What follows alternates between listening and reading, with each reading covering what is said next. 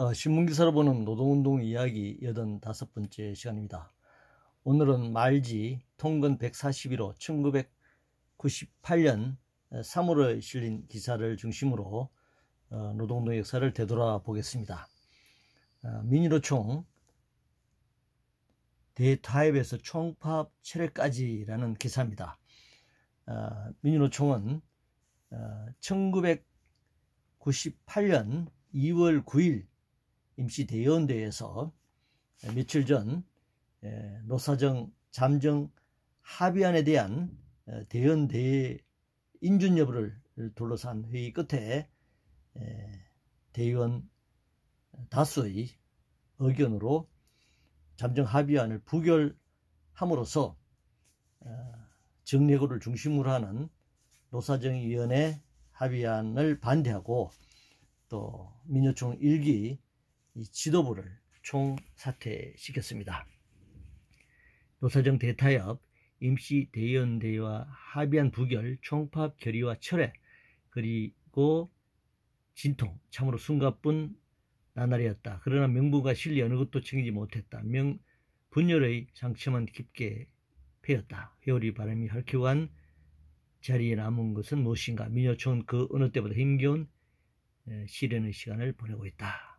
그런 내용입니다.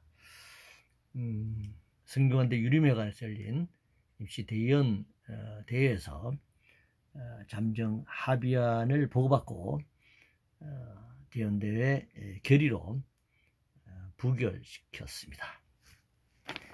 에, 집행부가 총 어, 사퇴하고 에, 비상대책위원회가 아, 꾸려졌습니다. 담병호 위원장이 비상 대책위원회를 맡아서 잠정 부결에 따른 총파업을 돌입하는 결정을 해야 하는 어, 상황이 되었습니다. 아, 그러나 아, 총파업을 하기에는 어, 현실적으로 어, 노개투 9697 노개투 총파업 이후에 파업 동력이 생기지 않은 탓에 파업을 철회하게 됩니다. 바깥에서는 노사정 합의안 무효하고 총파업 투쟁 조직하라 라는 현장의 목소리가 들렸습니다만 어, 민주총 비상대책위원회는 어, 현실적인 조건을 감안해서 파업을 처리, 처리하게 됩니다.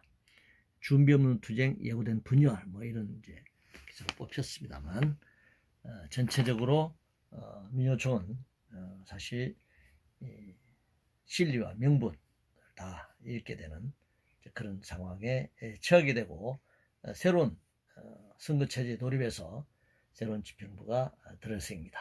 들어서게 됩니다. 이기 민주총 집행부가 들어서는데 이가병 어, 위원장을 중심으로 하는 이 집행부가 들어서는 들어서게 되는 그런 계기가 되었습니다.